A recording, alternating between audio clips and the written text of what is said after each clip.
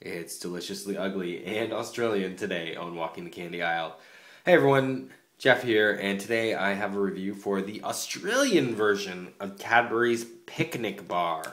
Now, if you've been with me for a while, you might recall that, um, when was it? I don't know, maybe a year ago, I did a bunch of reviews of UK chocolates and candies. One of them being, one of the first ones I did, being the UK version of Picnic, which, um, being a Canadian, I had never had before. But now I have my hands on the Australian version of that same bar, and it is actually different, which is why I'm bothering to do a review. Um, so here's the picnic bar. According to the, uh, look at that explosion of peanuts. Crazy, huh? According to the package, it's a unique combination of peanuts, wafer, caramel, Rice Krispies covered in Cadbury's milk chocolate. That's right. Now, what's the UK bar? The UK bar is like, um, oh, I don't know what it was. it was some crazy slogan like a fistful of peanuts, um, you know, caramel, nougat, raisins. Yes, raisins. Raisins are actually the main thing that differentiates this from the UK bar, at least as far as I could tell according to internet. Although this one looks like it has significant amounts of wafer in it, which the uh, UK one did not. Um, if anyone's really interested now or at the end of this video, uh, feel free to go have a look at that other review I did. Uh, I'm sure it'll be an interesting comparative. I will say I did like the other bar. I was surprised at how much I liked it considering what a mishmash of uh, stuff it was, and uh, I gave it a 4 out of 5. So I'm excited for the Australian picnic, and I'm looking forward to good things from this.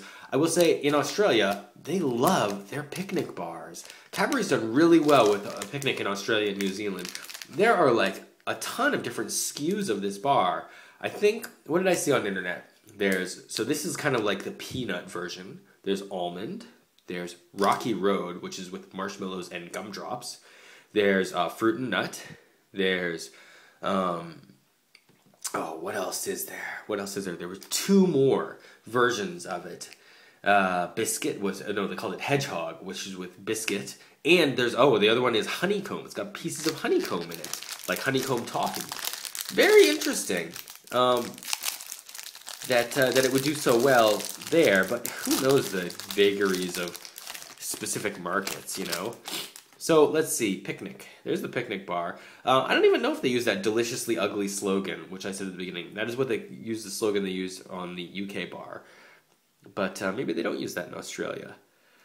And it actually looks pretty different than the Australian one, than the UK one. I mean, it's it's still bumpy lumpy, but um, it's not as big, not quite as big, um, and it's not quite as just out there. Let's uh let's give it a try, huh? The end's really flat too, right? It's kind of weird. It's just they maybe they just ch ch ch chop it off when they're on the conveyor belts. Let's give this a shot. Whoa. Hmm.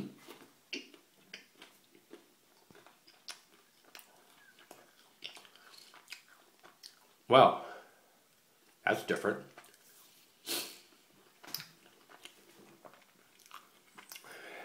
Look at those wafers. That's not messing around, huh? This bar, I wonder if because it's come to me to Canada from Australia, but I'll say this feels dried out a little. It's hard to say that when it's getting a little melty, but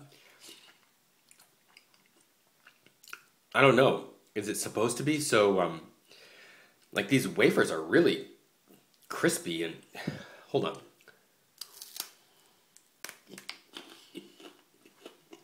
No.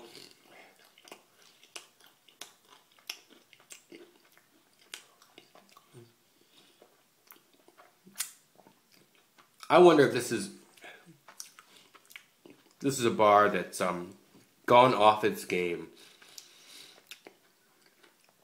because the caramel's good, but it's a little hardened. The wafers feel a little um, too crispy.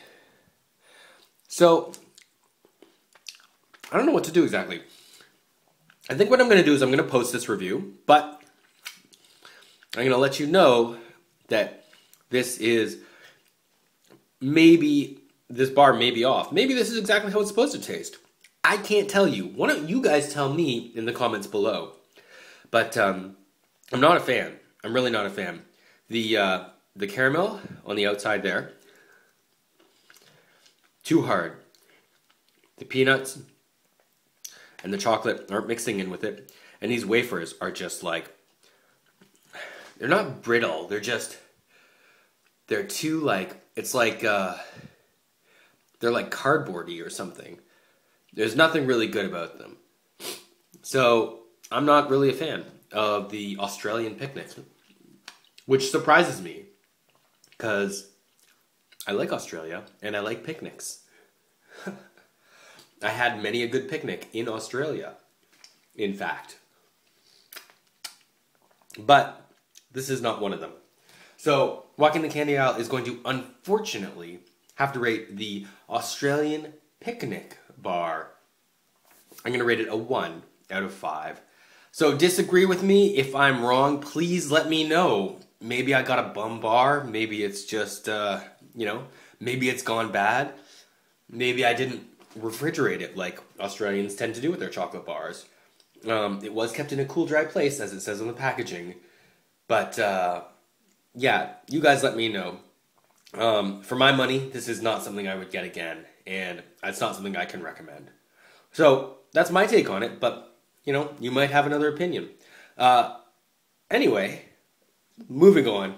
If you like this review, please let me know. I do sincerely want your comments below, especially if you have tried this bar and can give some insight into it.